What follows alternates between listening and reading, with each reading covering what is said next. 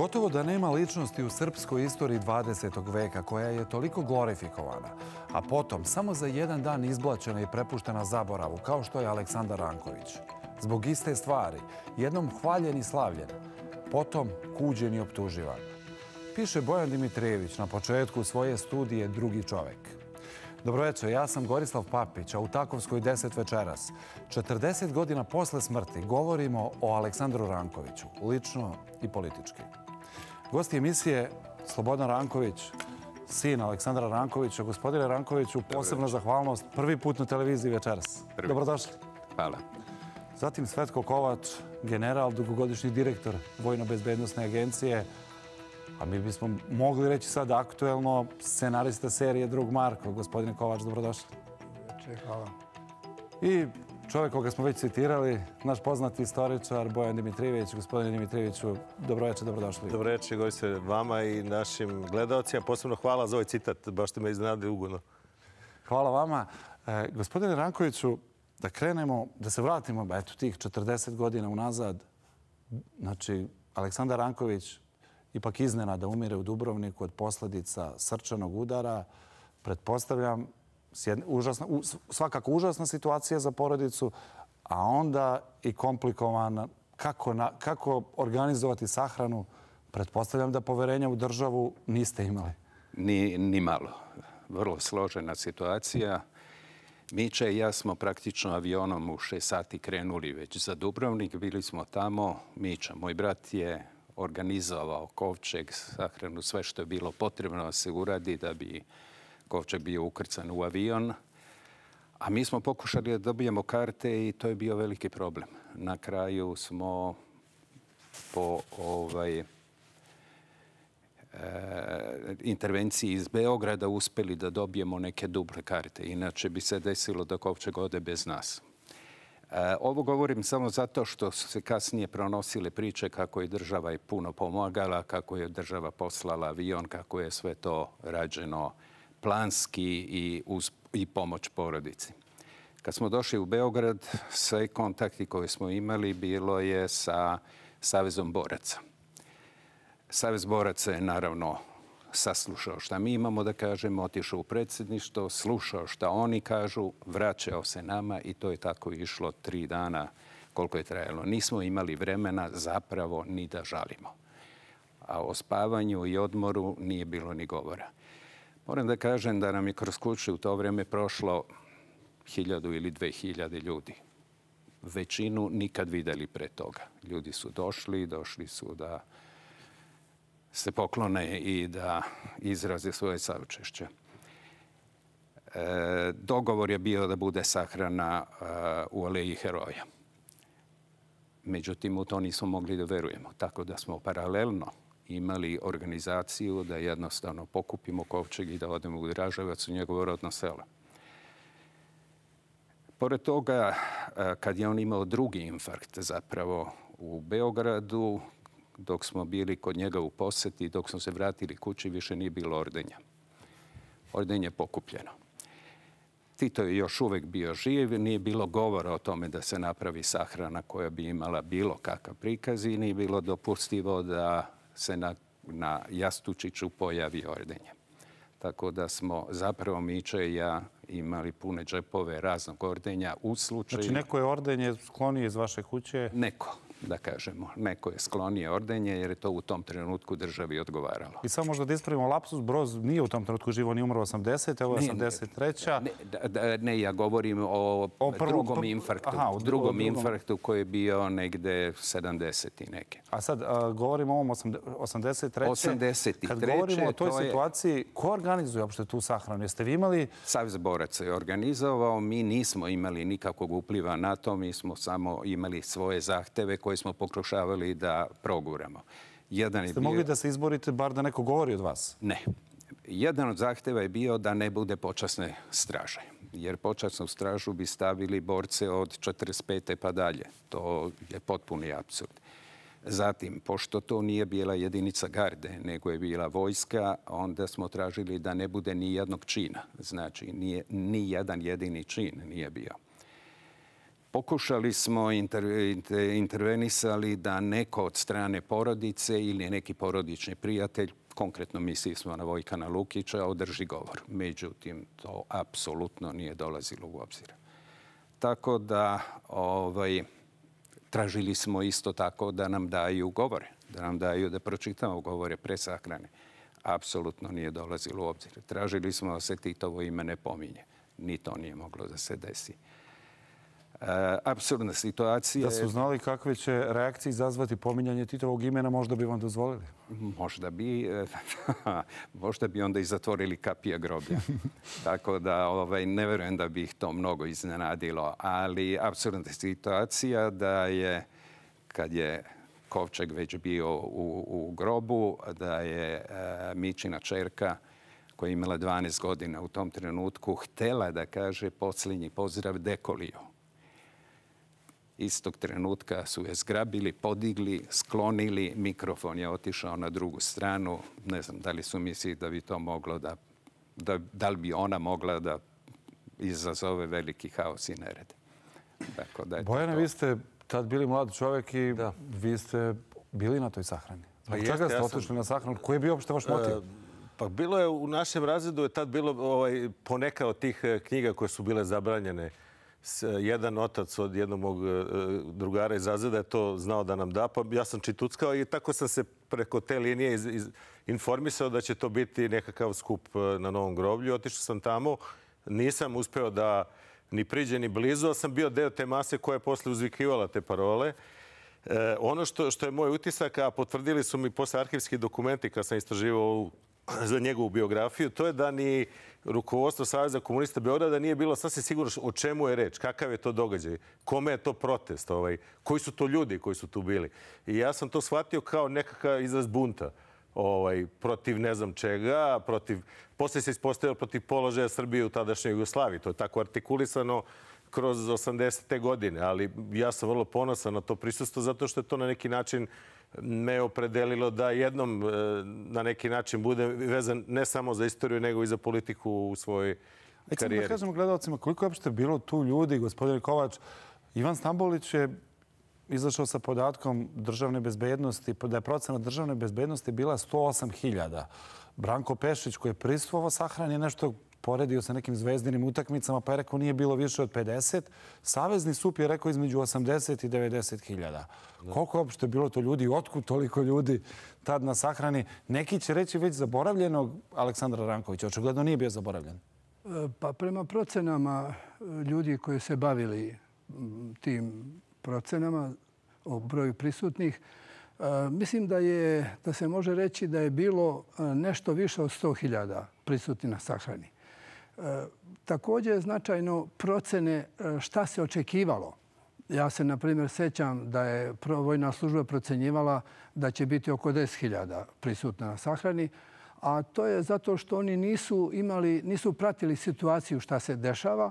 Međutim, služba državne bezbednosti je procenjivala da će biti oko 50.000 zato što su oni pratili šta se dešava u drugim gradovima Srbije i da se ljudi sami organizuju i spremaju da dođu u Beograd. Međutim, po svemu iz raznih izvora, e, mislim da je bilo nešto više od 100.000. Tako da bih ja rekao pre da je najrealna cifra koja je data 108.000. Zanimljivo je, strane ambasade su tada vrlo bile zainteresovane za sahranu. E, pa ne samo za sahranu, nego su strane ambasade i inače strani predstavnici, predstavnici stranih službi, su pratili e, šta će i mnogo ranije šta će se dešavati u Jugoslaviji i posle Tita i posle nekih drugih e, događaja. Tako da, na primjer, kada je bilo aktualno e, da li će Ranković da nasledi Tita, strane službe su to vrlo dobro pratile, imale su vrlo dobre procene. E, tako da i ovde su strane službe, naravno, to je bio događaj koji je privukao pažnju Drugo, sam Aleksandar Ranković je bio interesantan i za strane službe, ne samo u vreme dok je bio na vlasti, nego i u vreme kasnije. Zato što se stano spekulisalo o nekom njegovom učešću navodnom u vlasti. Odnosno da će on e, navodno da u slučaju neke krize, u slučaju sovjetske intervencije u Jugoslaviji, da će on biti taj koji će biti njima oslonac i organizator nove vlasti. Mada on uvek govorio, pa zar neko zaista misli da bih ja prihvatio da na ruskim tenkovima dođem na vlast. Znači, on nikada nije razmišljao o tome ni dok je bio e, podpredsjednik, odnosno dok je bio radio sa Titom, niti pogotovo kasnije kada je već bio e, On se zapravo sve vreme, to je Draža Marković zapisao u svom dnevniku, da se on sve vreme ponašao korektno, lojalno i dostojanstveno i da se tako ponašala i njegova porodica. I zapravo odluka Draže Markovića, Škrebića i Ljubičića je bila da se on sahrani, kako su oni rekli, na korektan način, da se ne prećuti ni jedna zasluga, ali da se ne... Ne, da se pomene i sukob sa Brozom i sa komunističkom partijom. Ova trojka što ste pomenuli, to je već druga generacija ovih srpskih komunista. Dakle, ona prva koja je bila izuzetno kritična posle Brionskog plenuma, to je ova takozvana liberalna struja ona sigurno to ne bi ovaj, dopustila. Mislim, ovo je već bila nekako druga generacija koja je već je taj sukob bio daleko odmako i mogli su to da učine. Naravno, pominjanje njegovih zasluga je bilo dočekano sa oduševljenjem i aplauzima, a ovo drugo je zvižducima dočekano. I Jeste ono što... vi kao srednjoškolac Ja nisam dobacio uopšte do te gužve, bio sam deo gužve. Znači, te i ovaj, bila je sama, sama, kako bi se rekao, ekskluziva prisustovati tome, iako ne znaš čemu prisustuješ. A e, kako, kao što rekao, e, vidim da ni gradske komunističke vlasti nisu razumeli o čemu je tu reč, zato što je profil ljudi bio takav da su tu bili i proborci, i, i bivši pripadnici DBA, i građanska desnica, i anarhisti, i obični građani, izbjeglice sa Kosova. Sva, svako jako društvo se tu skupilo. A to je vreme kada smo mi, 81. godine su bile demonstracije na Kosovu, kojima su Beogradu čulo tek onako. Znači, znalo se da je bilo nešto, ali nije bilo nikakve zvaniče vesti o tome prosto ta, ta nešto skriveno je tinjalo. A onda e, Ranković je živeo u Beogradu. E, e, njegovi, njegova porodica je bila viđena. Ja, ja sam znao njegovu unukovanju preko nekih prijatelji škole. Znači, mi smo tu videli te, te Rankoviće, jeli, da su prisutni i to je bio na neki način i, i omaž toj njihovoj izopštenosti koja je trajala i za koju smo znali da postoji ovaj, Na neki način Aleksandar Ranković je bio simbol nepravde koja je učinjena na neki način prema Srbiji. Tako je to shvaćano, bez obzira da li... Znači, prema njemu je učinjena određena nepravda, ali je već 83. godine je počeo se shvatati da je to nepravda učinjena prema Srbiji i prema zajedničkoj državi Jugoslaviji. Znači, to su dve nepravde. Srbiji nisu tada razlikovali, baš Srbiji i Jugoslavije, to im bilo isto od prilike, zajednička država. E, I sam Ranković je bio u stvari eksponent jugoslovenske politike, ne srpske.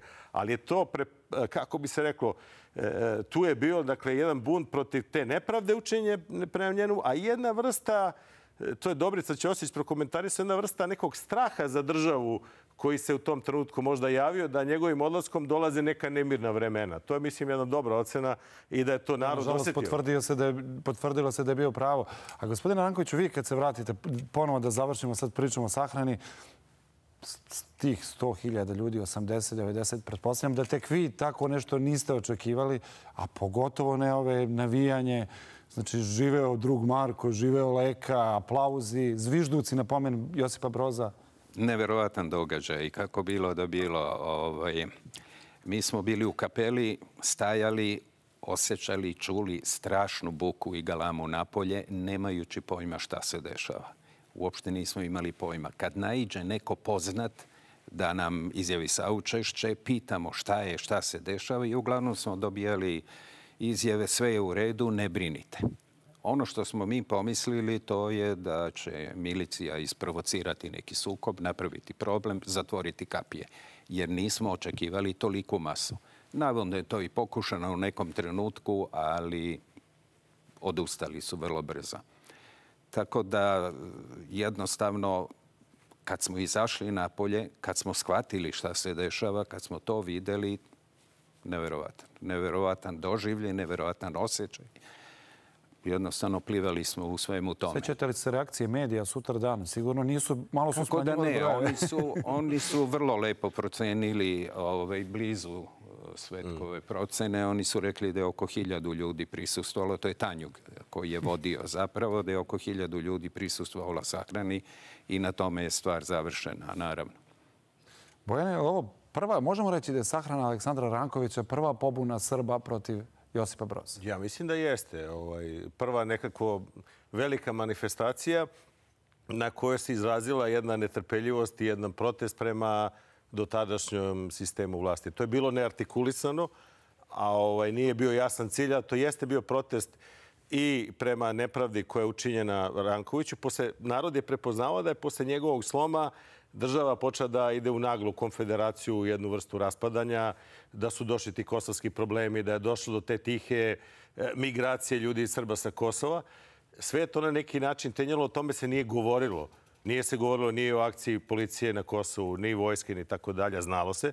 I onda je to na neki način bila prva manifestacija tog tipa koja nema obrise toga, ali ako e, napravimo u istorijsku paralelu, vertikalu, kroz 80. godine pojava Slobodana Miloševića, događa 86. 7. 8. sednica, to je nekako produžetak te energije. Da, neki kažu da je zapravo Brankovićeva sahrana rodno mesto politike Slobodana Miloševića, bar u onoj prvoj fazi. Ja ne volim ovaj, e, e, ovaj, tu ideologiju, ali sigurno da jeste, zato što je to ta linija koja se 80. godina prolačila i ona je bila potpuno suprotna onoj liniji koja je negde izgledana e, posle Brionskog plenuma, a koji su reprezentovali ovi ljudi koji su na osme sednici sklonjeni iz vlasti, Stambolić i drugi. A gospodin Kovač, vi izuzetno dobro poznajete svaki detalj iz biografije Aleksandra Rankovića. On zapravo je ceo život bio i ostao Jugosloven, je li tako? Ali na sahrani mu zapravo učitavaju srpstvo. Može to tako da se kaže da je on... Mm.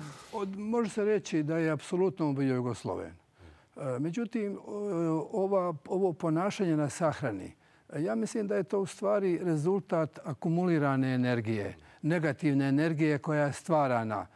Prvo, naravno, smenom Aleksandra Rankovića, koja je bila nepravedna, izvedena na način na koji znamo kako je izvedena, a drugo i smena nekih drugih srpskih kadrova. Blagoj Nešković je također smenjen na jedan čudan način, zato što se upravo zalagao za interese Srbije.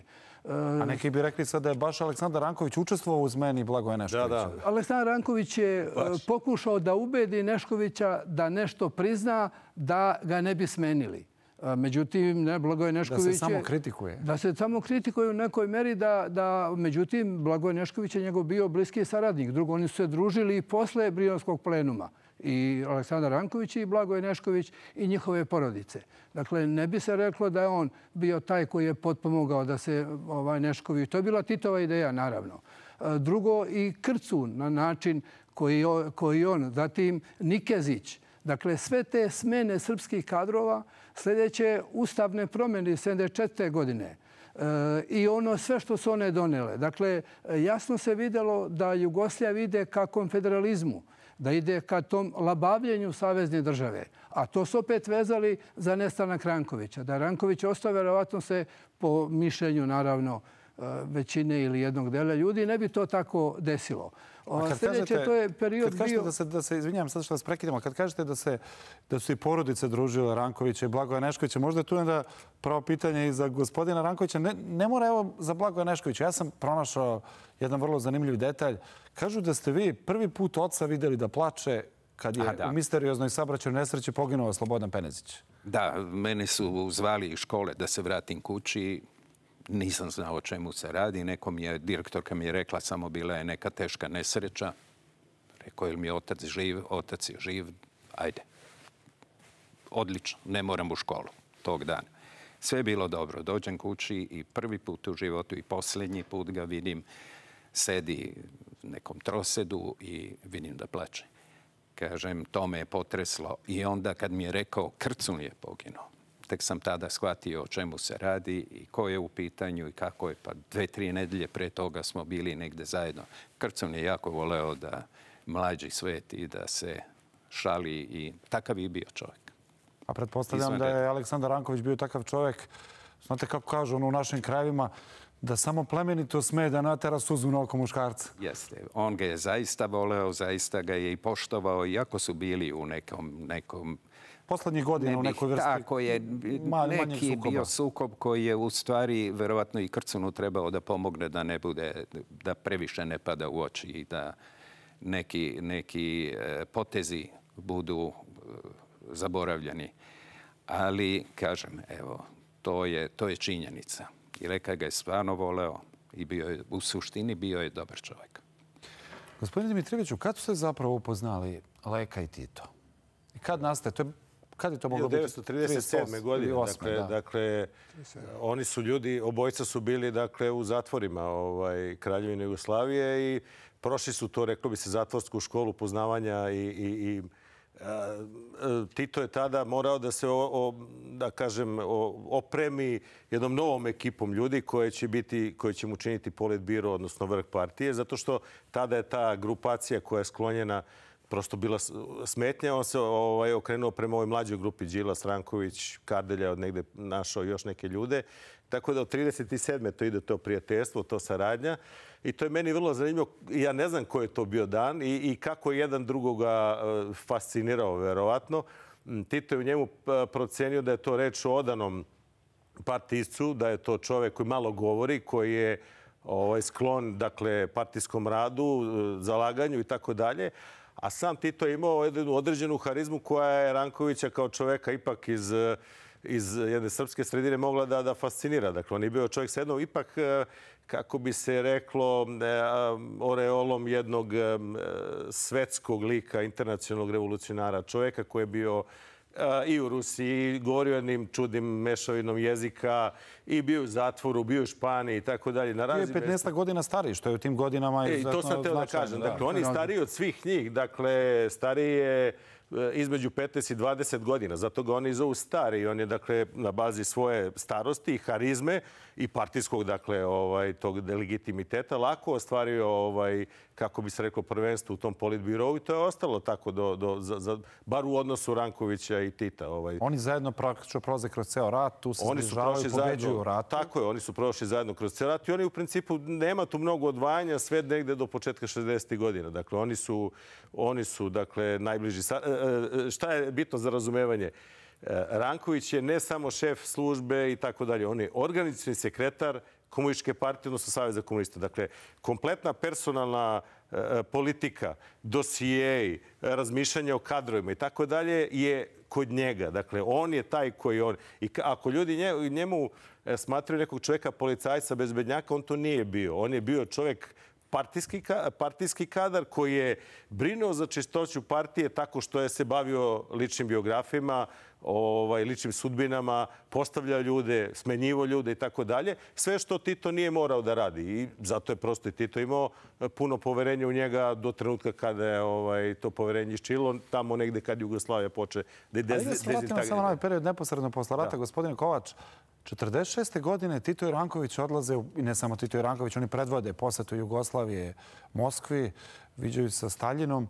Kažu da je Staljin bio fasciniran kako su izgledali Aleksandar Ranković i Vladimir Popović tada. Kaže, to su lepi ljudi, snažni ljudi. Kaže, onda to je, to je snažan narod. A da je Berija na kraju rekao, Titu, čuvajte se svih, pa čak i Aleksandar Ranković. Postoje, postoje razne priče i o toj posjeti Moskvi i inače o kontaktima sa Sovjetskim savezom.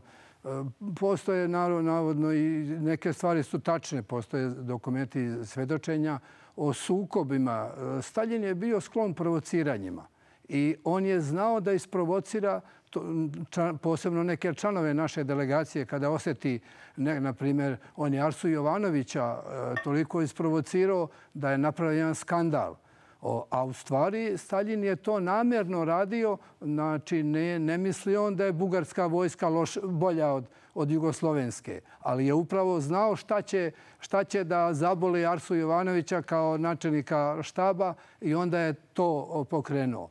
Tako i oko tih boravaka naših delegacija u Sovjetskom savezu i posebno e, kontakata sa Stalinom, e, tu ima isto svedočenja o, noćnim pijankama, o i O nazdravljanju Rankoviću kao budućem nasledniku Tita. Da. To je bilo kasnije, da, 60. godina kada je nazdravljan. Mada Ranković kaže da se ne sjeća toga da mu je neko to nazdravljao i da to ima da to ima utjecaj. Međutim, Cvjetin Mijatović je bio naš ambasador tada u Moskvi i on je poslao izveštaj e, da je tu bilo nešto, a naravno Tito se već tada prilično plašio da li će neko da ga smeni sa vlasti. Odnosno, tomu je malo e, podgrejao i Stevo Krajačić, odnosno e, već i njegove godine i već pomalo nesigurnost, pomalo i Jovanka, naravno. E, tako da je da Tito nije trebalo mnogo pa da mu neko kaže da Ranković može da, da, bude, da preuzme njegovu poziciju. Ali ovdje je posebno karakteristično 63. godina, kada je Ranković bio potpredsjednik e, Jugoslavije i onda su kadrovi Slovenije i Hrvatske ukazivali Titu da postoji velika opasnost ukoliko Tito iz bilo kojih razloga e, ne bude mogao da obavlja funkciju predsjednika Jugoslavije, da će po automatizmu Ranković doći na njegovo mesto. I oni su vrlo jasno rekli da oni to nikada neće prihvatiti i da, da takva, takva opcija ne može da prođe. Međutim, E, kada pogledate suštinu e, koje su bile nadležnosti Rankovića kao potpredsjednika Jugoslavije, praktično skoro da ih nije imao. Znači, to je bilo klasično razvlašćivanje Rankovića, odnosno to se uklapalo u sve druge pripreme koje su uveliko krenule. Odnosno, e, tada je Lukić e, došao u Srbiju, a bio je ministar unutrašnjih poslova. Umjesto njega dolazi Milan Mišković. Već je Ivan Mišković, njegov rođeni brat, šef Vojne službe bezbednosti. E, Sjeća Stefanović više nije ministar unutrašnjih poslova, nego predsjednik odbora za unutrašnju politiku i bezbednost. A taj odbor za to vreme nije održao ni jedan sastanak. Prema tome je to isto bilo da se razvlasti Aleksandar Anković, da se razvlasti Svetla Stefanović, da se razvlasti Vojin Lukić i tako da se stvore uslovi da može doći do ovih promjena koje su, ja mislim... Koje su desile 66. Ali možda da idemo pre, da idemo u 56. Uh, tad je poseta također Sovjetskom savezu, Hrušov je tad predsjednik, i posle te posete kažu da ovaj, uh, Rusi su E, primetili da Kardelj priča potpuno drugačije od Tita i Rankovića. Posle toga e, Tito govori Rankoviću kako već kaže, Marko, ja bih maknuo Kardelja. Pa da, da. I Ranković, s ove tačke gledišta, vrlo naivno brani Kardelja, znači objašnjava da ne bi trebalo da bude maknut, kako kaže Bros. Ovaj, e, dakle, taj nesporazum između Kardelja, Rankovića i Tita tu negde je u vremenu 57. otprilike može da se, da se trasira posle povratka iz Sovjetskog saveza. Zato što to što Kardelj govorio, vjerojatno bilo je Sovjetima strano. On je, on je nastupao jedan, jedan komunističku strukturu vlasti, potpuno njima stranu, samoupravljanje, šta ja znam, da ne ulazim dugo u tu priču. I sad, e, verovatno je Tito pomislio da će, e, instruirajući Rankovića da makne Kardelja, rešiti taj problem. I to je prosto trajalo između negde 57. i 62. treće godine, jer je ono očekivao Ranković je preuzeti stvar, centralizovaće državu, uvešće malo stegu kao ranije. Međutim, Ranković verovatno više nije imao snage za to, a eh, imao jednu bazičnu pošte, pošte, pošte, poštenost u sebi. Bio pošten čovjek. Prosto sa Kardeljem je također bio u, u tom politbirovu 1937. godine. Sad bi bilo potpuno neverovatno da bez ikakvog posebnog razloga on krene na njega.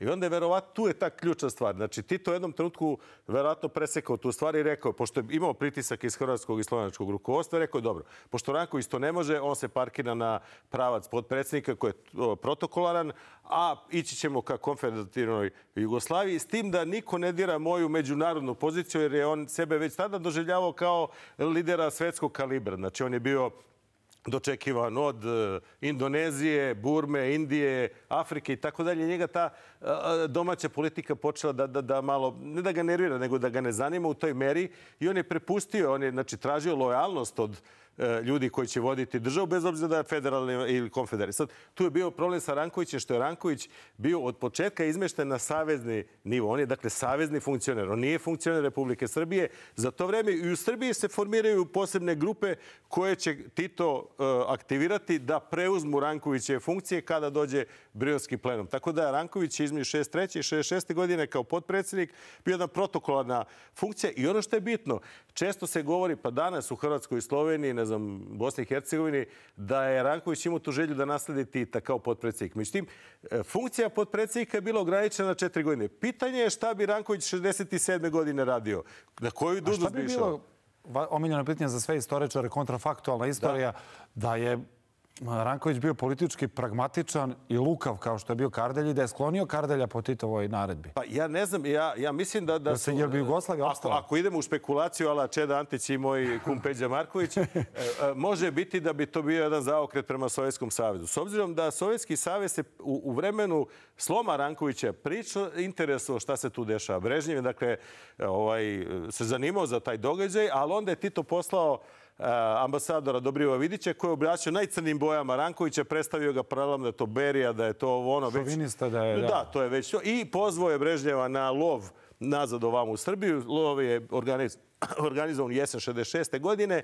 Tito i Brežnjev su to rekli, dobro, nema problema, to je vaša unutrašnja stvar, rekao Brežnjev i tako je stvar legla. Međutim, e, e, mislim da su Sovjeti bili svesni toga, jer ja kad sam istraživao za njegovu biografiju u arhivu spoljnih poslova, nađem jedan izveštaj se kraja 66. godine, gde je verovatno najbolja procena E, tog sukoba, gde se kaže da, da Ranković nije bio to zašto da ga optužuju, nego da se borio protiv reformske struje koja će kasnije voditi Jugoslaviju prema Sjedinim državama i prema razbijanju partije, a gde to vodi niko ne zna. Vrlo zanimljiva procena iz sa kraja 66. godine i pokazala se recimo za 10-15 godina vrlo tačno. Ja nisam ljubitelj, dakle, ni sovjetske službe, ni njihove partije, ali ta procena koju Jugoslovenska diplomatska služba našla u novembru 66. godine je vrlo precizna. I vrlo... Iako ništa nisu uradili tim povodom. Brežnjev je odmah... Na, pa stvar je puštena... Brežnjev je posle toga posjetio Beograd e, odmah. E, jeste, jeste, on je posjetio, e, ali pazite, sve do Češke krize 68. godine Jugoslavija na neki način u sovjetskoj orbiti. Tek da. tada počinje da se lomi ova stvar i Jugoslavija počinje ponovo da gleda prema zapadu, na neki način prema istoku. Pitanje je kako bi to bilo da je, da je bio Ranković, ali ovaj, da li bi pobedila ta lična odanost prema Titu ili eventualno neka neka sovjetska inekcija vlasti, to, to ne znam. Ali ja ne volim kontrafaktualnu da, istoriju. Istoričari je... obično ne vole. A gospodine Brankoviću, ste vi kad razmišljali o tome šta bi bilo da je, da je vaš otac... Šta bi bilo kad bi bilo? Da. Mislim da je to ovaj, stvarno pitanje za Bojana mnogo pre nego za mene. Tu treba proučavati mnogo toga dokumenta raznih imam. On nikada nije bio u uh, sovjetskim školama. Da. On je jedan od redkih vrhunskih političara koji nikada nije bio pod sovjetskim, e, sovjetskim uticajem na taj način. Da je e, imao simpatije prema Rusiji, naravno. Imali su ih svi. Jednostavno, to je bio takav period. Ali šta bi bilo da je ostao? Vrlo teško. Kako vi lično opšte pamtite taj period? Znači, Aleksandar Ranković je u tom momentu drugi čovjek jedne geopolitički mnogo bitne zemlje. Znači, on se sreće sa ljudima kao što su Stalin, kao što je Churchill. Znači, e, u Hruščov. Tom Hruščov, da. Vi, u tom, vi, se, vi ste rođeni 49. i kažu da je Aleksandar Ranković mnogo vremena provodio i sa vama i sa porodicom. Ovaj, samo da vratim za sekund Naravno, na vaše da. prethodno pitanje. Nama nikada nije bilo dozvoljeno da damo oglas u novinama o smrti e, oca samo na dan sahrane jedan oglas i niko drugi nikada nije mogao. Znači, sve je bilo blokirano. Jeste na čitulju klasu. Čitulje, tako je. To jednostavno nije moglo da se, da se desi. Ovo što kažete, e, bio je veoma oddan porodici, bio je nežan otac. E, stvarno nema, nemam reći hvale koje bih, koje bih mogao da kažem za to i u svoje i u Mičino ime. E, bili smo vrlo, vrlo, e, da kažem, e, porodica koja je jednostavno non stop bila upućena jedan na drugoga. Stalno smo o tome, o tome misiji na to radili. Posebno je bilo, kažem, od 66. kad se desilo, kada je trebalo praktično da mu vratimo tu nežnost i tu odanost koju je on pokazao prema nama, to smo i radili i sve snage. Pokušavili da ga čuvamo, po, po, pošli, iš, išli iza njega, nikada ga nismo puštali samog, nikada i nigde. I Jeste li vi bili privilegovano dete? Kao, jeste išli u neke posebne škole ili ste bili sa svom drugom decom? Da, Kako da, je to išao, bilo sam, išao sam u ovaj... strane škole, kako što bi se sad... U strane škole, što je tamo, što je u to vreme bilo nepojmljivo. Svakako potpuno normalna škola, potpuno normalno druženje. Ljudi sa kojima sam bio, moram da priznam da su ostali korektni ljudi. Učenici ili prijatelji ostali korektni do kraja. Bilo je raznih ispada, bilo je momenata kad su roditelji zabranjivali da se druže sa nama. Naravno, toga je bilo, karijera je iznad svega.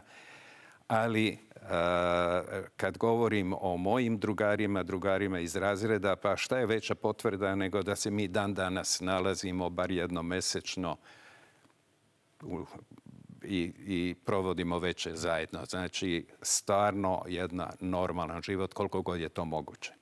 Ali svi savremenici koje sam ja uspeo da izjave e, ljudi koji su bili u pratnji, vozača, e, iz Udbe i tako dalje, govore o bazičnoj bazičnom poštenju Rankovića i njegove porodice. Ja sam, istražujući za ovu knjigu moju e, arhivu, Medija centra, fotoarhivu, našao neke fotografije gde se Ranković slika sa porodicom, pre svega sa malim ovaj slobom na, na Tašmajdenu i tako dalje. Vi vidite tu nema izveštačenosti na tim fotografijama. Vidite zaista jednu očinsku ljubav i jednu privrženost porodici.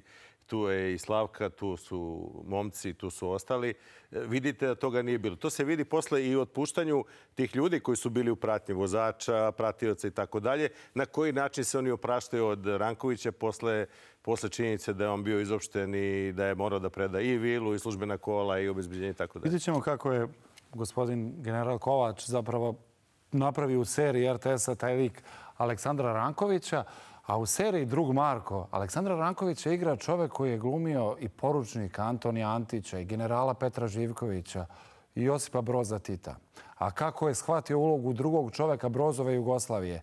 Za RTS govori glumac Nebojša Dugalić. S njim je razgovarala Milica Kulić. Kada Dobrica Ćosić govori o Rankoviću, on navodi njegov dar samouka da razume i da odvoji bitno od nebitnog. Sa jedne strane navodi njegovu moć, a sa druge skromnost u odnosu prema recimo naučnicima koje je cenio. Navodi njegovu izvanrednu borbu eh, u ilegali i protiv fašizma, a kasnije navodi njegovu krajnje slepu religioznu odanost partiji. Kako ste vi razumeli Aleksandra Rankovića? Pa on je bio možda jedna onako najslikovitija pojava svog doba i svoje epohe, upravo zbog toga što je u tom periodu, u tom zapravo rasponu istorijskom, bilo potrebno biti mnogo toga različitog u isto vreme u različitim etapama. I to je nešto što u suštini čovek, svaki čovek pojedinačno kroz čitav svoj život i jeste. Mi nikada nismo isti od pre godinu dana ili od pre deset godina. Naprosto neki novi zahtevi traže nove angažmane, a sve to zajedno izgleda kao da nije reč o istoj osobi. I to je zapravo nekako kroz celu istoriju jedno isto ponavljanje neki ljudi koji su izneli neke revolucije, pa onda se snalazili sa slobodom, a onda se ispostavilo da je ta sloboda mnogo revolucionarnija sama u sebi nego sve ono što se prethodno prošlo i onda treba se snaći sa tim, a najčešće se donosioci slobode nisu snašli sa sobstvenom slobodom. A kako izgleda priprema za ovako kompleksan lik? Šta vi čitate, gledate, šta proučavate? Pa, e, nama je pre svega bila dragocena pomoć e, našeg dragog prijatelja Svetka Kovača, koji je čovjek koji je apsolutno sve znao o tome. I on zaista imao sam utisak da da smo ga pitali 74. u 12 sati, 16 minuti, 45 sekundi gde se nalazio Ranković, on bi nam kao iz rukava rekao tu i tu, poslao to i to pismo i tako dalje. Spomenuli ste generala Svetka Kovača, inače scenaristu u ovoj seriji. On navodi e, da Aleksandar Ranković ima dva orijentira. Jedan je Tito, drugi je partija. Vi ste praktično u svojoj karijeri odigrali oba orijentira, odnosno odigrali ste i Tita i Aleksandra Rankovića. Koja je ličnost, po vašem mišljenju, intrigantnija, odnosno glumački i profesionalno zanimljivija? Pa to je zanimljivo. To je zapravo bio plot slučajnosti. Trebalo je da i u ovom drugom serijalu ponovo igram Tita. Međutim, sticem nekih e, produkcijskih okolnosti morali smo da zamenimo uloge uh, Vujke i ja i onda ispalo zanimljivo pošto ovaj, on je, videće gledalci, zaista sjajan Tito. Ovaj, tako da je bilo interesantno da, da se tako promene mesta. Eh, ali eh, bilo je, eh, bilo je i zanimljivo što iz dve potpuno tako opozitne vizure je moglo da se oslika, da, zapravo da odigram jedan sasvim drugačiji lik pre svega, a da, da se pokaže kako to izgleda, kako, kako je taj čovek koji je u jednom trenutku bio najbliži Titov saradnik, čovek od najvećeg poverenja i kako polako njihove strane uh, počinju da se menje. Vi ste rođeni posle Brionskog plenuma. Ušli ste u ovu ulogu, dakle, vrlo detaljno, ispitujući epohu i vrlo detaljno te istorijske okolnosti i istorijski kontekst. Po vašem mišljenju, koji je to ključni događaj u Rankovićevom životu? Je li postoji nešto što ste shvatili da biste želeli da kroz tu seriju posebno istaknete? Pa Brionski plenum zapravo E, E, Brionski plenum je bila već egzekucija. Dakle, to je već bio, to je već, tada je sve već bilo spakovano i gotovo. Ali po meni je mnogo važnije, mnogo zanimljivije i u dramskom smislu i u nekom istorijskom i faktografskom ispratiti uh, E, sve te pojedinačne tokove koji su postepeno doveli do toga da se ta situacija sa Brinunskim plenumom namesti zapravo tako da tu više nema šta ni da se raspravlja ni objašnjava, nego da se samo to odradi što je već bilo isplanirano, a to je uklanjanje njega. Hvala vam na razgovoru za RTS.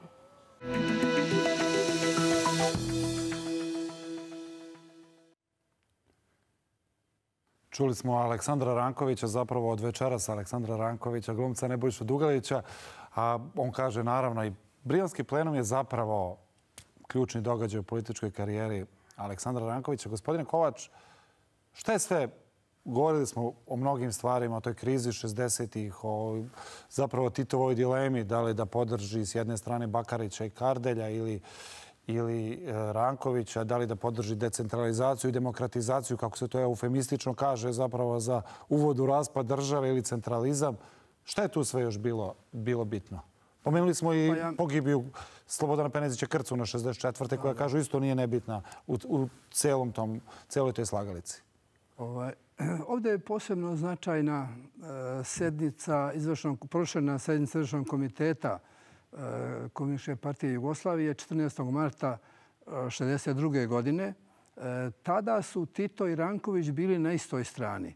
Oni su se zalagali za očuvanje Jugoslavije nasuprot već nekim otvorenim zahtevima predstavnika Slovenije i Hrvatske koji su tražili decentralizaciju Jugoslavije. I tada je čak Tito pitao ljudi da li smo mi kadri da sačuvamo Jugoslaviju. Međutim, e, posle toga se desile velike promjene. E, Tito više nije zajedno sa Rankovićem, odnosno ne podržava njegovo e, očuvanje Jugoslavije na njegov način. Malo pre toga imamo 53. godine, Tito dobija prvi petogodišnji mandat. 58. godine dobija drugi petogodišnji mandat kao predsjednik Jugoslavije. I onda se postavlja pitanje šta sada. Ne može, a treba da ostane i dalje predsjednik Jugoslavije. I onda se ide na novi ustav. Znači, donosi se ustav 63. godine. Kardelj je predsjednik Ustavne komisije. I on kroz taj predlog e, postavlja tipične konfederalne osnove za, za organizaciju nove države. Ranković to uočava i odlazi kod Tita i kaže, stari, šta je ovo? A Tito, naravno, kao da ne zna o čemu se radi. Nisam pročito... E, pa kaže mi šta da ispravim. pa ga zamolio da mu označi koja su mesta sporna, da bi on to kao ispravio. I Ranković to uradi, međutim, naravno da je Tito bio upoznat i Kardelj je naravno upoznavao njega sa tim što je radio. E, tako da Ranković je uočio e, čemu to vodi. Da to praktično vodi razbijanju Jugoslavije, ono što je njemu najviše smetalo. Njemu je uvek Jugoslavija, odnosno partija, ali partija u funkciji očuvanja Jugoslavije, bila na prvom mestu. A je li istina onaj, ima jedan Rankovićev citat koji rekao da li je autentičan, gde on kaže ubili su Krcu na tim rečima, ubili, ovaj, smenili su generala Hamovića i mi smo sad nemoćni svakako. Pa tu je, tu je e, značajno e, odnos Krcuna prema tim ustavnim promjenama. Znači, Krcun je bio vrlo energičan u osudi e, toga šta se radi sa ustavom. On je posebno uočio da će biti veliki problem sa pokrajinama Srbije. Da će pokrajine postati država u državi. Odnosno, da će Srbija doći u vrlo težak položaj. Ranković, iako je to mislio, on to ne bi tako izgovorio. A Krcun bi. Dakle, Krcu bi to čak i Titu rekao u ovi što neki istoričari navode u, Malo kad se zagreje, kad bude pijanstva. Da, da, da. On bi onda nije imao kočnice da kaže i Titu. I Tito je često, kažu, na prijemima bežao od njega da, mu ne bi, da ga ne bi doveo u nezgodnu situaciju. E sada se ovdje jedno pitanje postavlja šta bi bilo da Krcu nije poginao 64. godine? Da li bi se desio ovakav brionski plenum? Verovatno bi bilo mnogo drugačije. Međutim, opet ne možemo sada da, da e, spekulišemo pa da kažemo bilo bi ovako ili onako. Pa da srpski je... komunisti nikad nisu bili poznati po hrabrosti kad je 62. drugi put Broz hteo da skloni Kardelja, onda su svi Slovenci došli, svi slovenački komunisti da brane tovariša Kardelja. A kad je obrnuto bilo, kad je Rušen Ranković, svi srpski komunisti pridružili tamo. Moramo da razumemo, znači on je bio organizacijski sekretar e, Saveza komunista. On se mnogim srpskim kadrovima zamerio, zato što je prema njima išao prema njihovim osobinama. Petru Stamboliću u ovom i tako da je. Svi oni su generisali jednu opoziciju koju je Tito onda iskoristio da bude protiv njega kad dođe vreme Birovskog plenuma. Na Birovskom plenumu Ranković ima samo dva čoveka oko sebe. Svetislava Stefanovića Čeću i Vojina Lukića koji ćuti. Znači, to je, to je sve. Znači, nema nikakve centralističke struje, nema ničega. Ranković Čak naprotiv, srpski liberali su najglasniji u Ovo što će postati liberali, oni su najglasniji. Zato što, pazite, Ranković u trenutku smene ima jedno 6-7 funkcija. Pa onda, onda se oni dogovore. Ti ćeš da budeš šef subnora, ti ćeš da budeš organizacija šteta, ti ćeš ovo, ti ćeš ono, ti ćeš podpredsjednik. I naravno da su tako namireni ti ljudi, oni su naravno krenuli ovo. Ali ono što je isto zanimljivo, ja kad sam pokušao da protumačim smenu Rankovića, da vidim šta je on od prike mislio. Našao sam isto to što se desilo Đilasu 12 e, godina pre. I vidite isti način razmišljanja oni i jedan i drugi počinju da, da, da sumljaju sebe, da, da, da, kritikuju sami sebe i tako nešto. A s druge strane... Izvinjam se, ima ona anegdota kad Mihis govori Đilasu da mu je najveća životna greška što se, kako on kaže, samo kritikuje. Da. A Đilas mu odgovara Mihis da ti ne razumeš da, je, da, je to zapravo, u, da, da je to zapravo suština komunista, komunista neko Iranko, verništvo, be, beskrajno verništvo. Iranko isto čini na Brijevskom plenumu za razliku od Svetislava Stefanovića Čeće koji daje odlučnu odbranu i, i svađa se sa ovaj, i Titom i sa onima. Ali ono što hoću da kažem, e, ljudi koji kritikuju Đilasa 54. godine i ljudi koji kritikuju Rankovića 66. godine, u dve trećine su isti ljudi. Isti ljudi iz crnogorskog zašto se, zašto se Ranković nije branio na Brionima 66? Pa zato što on... Zašto nije ušao u sukob sa Titom? Je bio dovoljno jak? Nje, znači, ovaj- kad je otvoren taj izvršni komitet CKSKU 16. juna, za njega je to bilo iznenađenje. Znači, e, on je znao da stvari nisu baš dobre, da se više ne viđa s Titom, da ne slave nove godine zajedno, da ima ovo ono, ali sve smatrao da će to neko proći možda ili će biti rešeno drugo. A, o, e, e, monstruoznost optužbi koja je tada izrečena 16. juna, je bilo za njega vjerojatno šokanta. I to, I to govori i njegova supruga onim da je kad je došao kući bio sam leven. I ono što je ključna stvar, Otprilike Tito mu kaže, pusti ti to druže Marko, nego daj da mi stvar postavimo politički. Nemoj ti tu meni o toj službi, nego ovo. Znači, e, već u samim tim rečenicama je bilo položeno, pusti ti otpužbe za službu, prisuškivanje su jedna stvar. Ali stvar je politička i verovatno to počelo da melje Rankovića, da vidi da njegovi bivši prijatelji koji su domojuče ulazili u kuću Veselinov, e, Otmar Krejačić i tako dalje, odjednom postaju neprijatelji, ljudi koji ga kritikuju. To je porazna stvar. Vi sa tim ljudima prolazite rat. Nek sa nekima je bio u zatvoru. Odjednom, 20-30 godina kasnije ti ljudi idu džonom na vas. E, Spasenija Cana Babović. Da, da ne govorim ta imena. Znači, svi ti ljudi su se za trenutak sa izuzetkom generala Gošnjaka okrenuli protiv Rankovića i to, ako ste i ole normalni, to je za vas poraz. Bez obzira što je on gaju u sebi taj komunistički manir samokritike. A gospodin imamo, se, imamo još jednu stvar tu. Znači, kada je partijska komisija pozivala ljude na razgovor, onda je Ranković to saznao.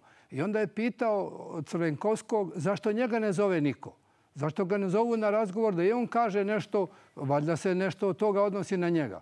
Ali on kaže, ovaj, ne brini druže Marko, mi ćemo doći kod tebe kad bude vreme, nema problema. A onda Crvenkovski upoznaje Tita sa tim da, da Ranković traži razgovor, on kaže, nemoj, ja ću da razgovaram sa njim. I 25. juna na Brione odlaze general Gošnjak, Ranković kod Tita sad samo da kažem ovaj deo. E, između ostalog, Tito njemu kaže malo ćete napasti na brionskom plenumu, ali ti nemoj da se braniš, ti ćuti. Ranković je, nažalost... Računamo na tebe još, od prilike. Ranković je, nažalost, slepo verovao Titu ne samo pre plenuma, ne samo u vreme plenuma, nego još šest meseci posle plenuma. A onda je tek posle toga počeo da, da polako uh, uviđa šta, da je to u stvari bilo da, odavno pre toga režirano, planirano, tako dalje. Da idemo, zapravo spasa samo da kažem ovdje jednu stvar. Uh, mi imamo sada u seriji jednog sagovornika koji je u aprilu ove godine napunio 101 godinu. To je Mirisa Misa Lukić, uh, koji je bio ministar unutrašnjih poslova Srbije pre plenuma, a zamenik Savjeznog ministra unutrašnjih poslova u vreme plenuma. I on otprilike kaže ovako, Krcun je sa nama išao u lov, misli se sa kadrovima Srbije, e, sa nama išao u kafanu, a Ranković je išao sa Titom. Dakle, Ranković nije razmišljao da stvara svoju bazu u Srbiji koja će ga podržati u nekom trenutku, kao što su radili Kardelj, e, Bakarić ili kao što je Kardelj, e, naveli ste onaj primjer jedan, kada Slovenci rekli ne, ako Kardelja smenite, pitanje je da li ćemo mi da ostanemo u Jugoslaviji. Dakle, vrlo čvrsto su stali iza Kardelja. A ovdje niko nije stao iz mnogo razloga, između ostalog, što su... Niko stali su jedino bio... pisci Dobrice Ćosić i Antonij Isaković zapravo. Tako je, naravno. Jedina dva čovjeka. Gospodine Rankoviću, kako je to u porodici bilo? Vi ste tad mlad čovjek, ogromni lomovi. Jel to sigurno prolazi kroz porodicu? Da, naravno. U periodu neposredno pre Brijonskog plenuma.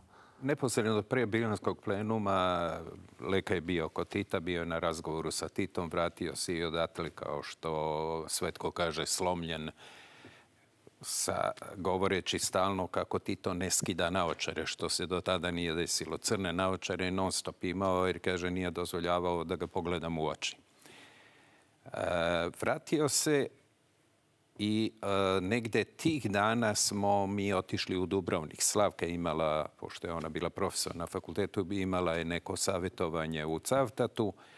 Ja sam bio u Dubrovniku i ono što smo mi znali, što je ona meni rekla, 1. jula će biti nešto, nemoj da se iznenadiš, možda će biti i ružno, ali Leka daje ostavku na sve svoje funkcije. Zašto? Kaže, dosta mu je jer jednostavno drugarstva više nema, više to nije ona partija kakva je bila nekada i on iz toga želi da izađe. Znači, on je želeo da izađe iz toga, ali nije znao šta ga čeka.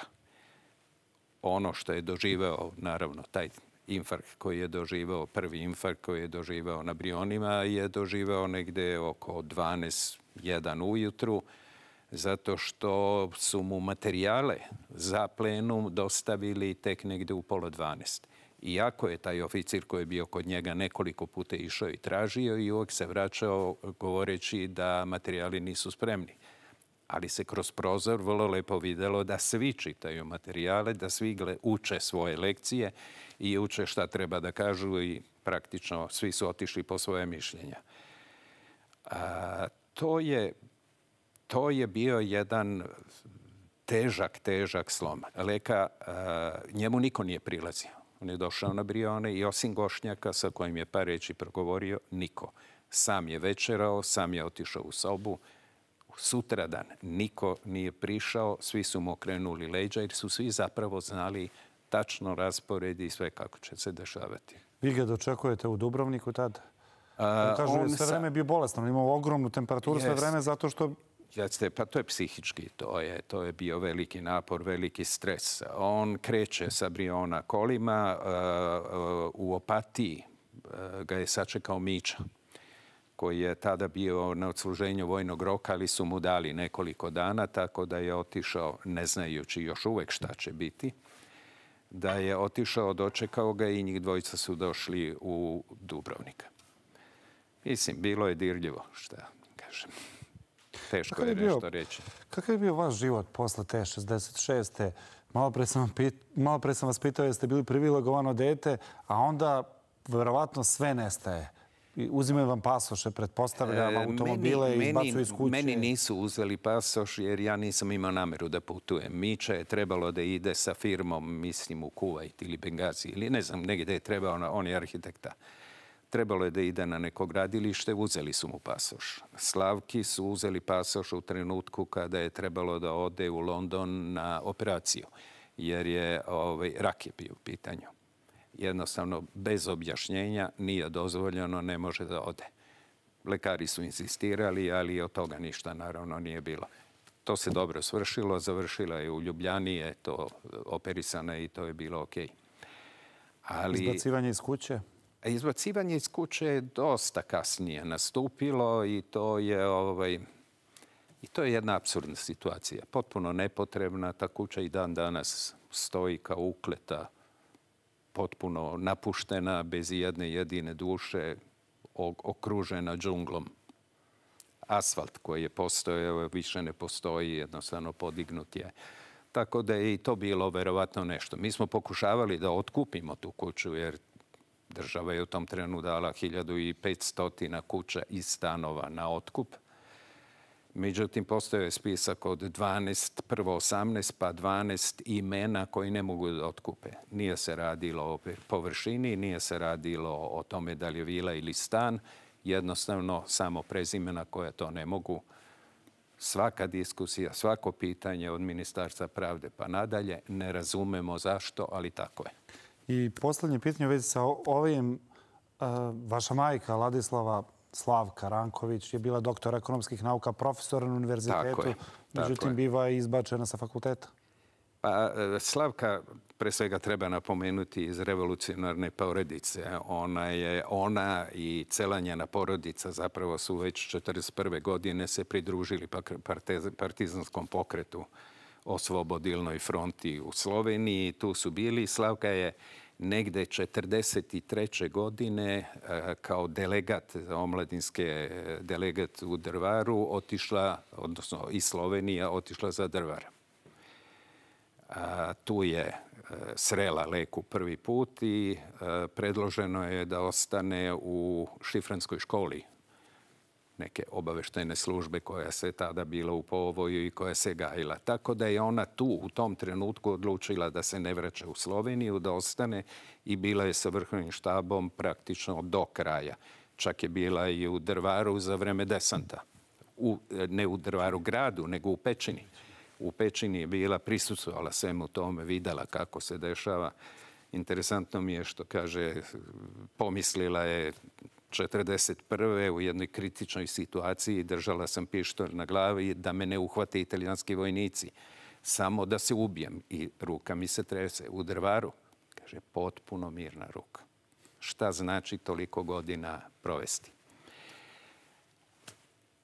Ona je, kažem, posle rada, posle toga e, e, je ostala u, u obaveštajnoj službi i penzionisana, odnosno demobilisana kao major Jugoslovenske armije. Prebacila se na fakultet, magistrirala, doktorirala, postala profesor i u nekom trenutku, nepunih deset godina, opet je bila potrebna neka čistka da se napravi u Srbiji i ona je na partijskom sastanku ovaj, ekonomskog fakulteta obavezno prisustvo i svako je bio po imenice prozivan vi taj taj, da li ste za to da se Slavka Ranković isključi iz Saveza komunista zbog i proglasi moralno-politički nepodobnom za profesora na univerzitetu. Eto, tako je izbačena sa Beogradskog univerziteta. Bojana, na samom kraju, ličnost Aleksandra Rankovića posle pada, citirao sam što je rekao Draža Marković, nije se oglašavao, iako je Tito znao da kaže, pominjao ga je, govorio da se u Dubrovniku neko, valjda mu se neko javlja na ulici, što je isto bio problem. I zanimljivo, u kafanama su ga dočekivali uz pesme Marš na Drinu i Vojvodo Sinđelić, ali njemu to nije prijelo. To je već od 66. godine u drugoj polovini i već primećeno da u beogradskim kafanama, kad bi se Marko ili ti Ranković pojavio, da mu sviraju to, što njega nije ovaj baš veselilo, ali je to, e, služba to primećivala kao neku tendenciju neke, nekog srpskog nacionalizma koji se generiše oko njegove ličnosti. To je, I to je ostalo do danas. Mi danas e, e, mnogi Rankovića smatraju nekim velikim Srbinom i ako nema tragova o tome da je da je on bio ništa drugo nego e, komunista, čovjek jugoslovenske ideologije, jugoslovenskog opredeljenja. Ni, ni on, ni Krcun, osim te kafanske legende, nemaju nikakvu, da kažem, prosrpsku orijentaciju. Naprotiv, Srbija je baš propatila u 44-45. godini pod eh, terorom Ozne. To je ovaj nešto što je dokazano, ali je eh, Već 60. godina ti ljudi su imali naklonost Srbije eh, upravo kao ljudi koji na neki način zastupaju srpske interese u Jugoslovenskoj federaciji, što je paradoks ovaj, istorije Srbije za vreme socijalističke Jugoslavije, da ljudi koji su bili na neki način na, na suprotnoj strani od srpstva budu prihvaćeni nakladno posle smrti i posle tih tragedija koje su proživjeli Krcu na jedan način, Marko Rejanković na drugi način, da budu prihvaćeni kao neko koje ovaj, su zastupali srpske interese i što je najgore, to je prihvaćeno i drugim republikama gde se uh, Ranković prepoznaje kao neko ko je bio uh, lider neke da, centralističke Da, nažalost, sad vremena za to. Hvala vam. U jednoj rečenici, gospodine Kovač, ko je bio Aleksandar Ranković i kako ste ga prikazali u seriji? Mi smo nastavili da ga prikažemo što realnije. Dakle, da prikažemo zaista e, kakav je bio, kakvu je imao ulogu. E, nismo iznosili naše stavove, nego smo iznosili činjenice, argumente i prepustili smo gledalcima da sami zaključe i da sami donese odluku o njegovoj ulozi, o njegovoj ličnosti i privatno i u toku dok je bio na vlasti i posle silaska sa vlasti. Slobodane, li verujete u gospodinu Kovaču, generalu Kovaču, je li hoće verno da prikaže vašeg oca? Verujem, verujem da je to, da je to uradio i da je to tako bilo. Moramo napomenuti da je ovaj, e, postojao neka politika zabrane istorije, zabrane mišljenja jednostavno rušenje spomenika, menjanjem naziva ulica, što se leke tiče intervencija u arhivima, deo arhiva je uništavan, drugi deo arhiva je intervenisalo se tako što su se menjali tekstovi, retuširale slike. To je bio jedan način Jeste vi stigli da je vam pokazao scenariju, gospodin Kovač? Ne, jedan deo, ja kažem, ja ulazim u ovo isto grlom u jagode. Ipak ja mislim da bolje preporuke za seriju Drug Marko nećete dobiti. Odličan scenarij generala Kovača, rekao bih i odlična serija. Poštovani gosti, hvala vam što ste govorili u ovoj emisiji o Aleksandri Rankoviću. Ovama, poštovani gledalci, naravno, preporuka prva epizoda serije Drug Marko odmah posle ove emisije. Prijetno večer.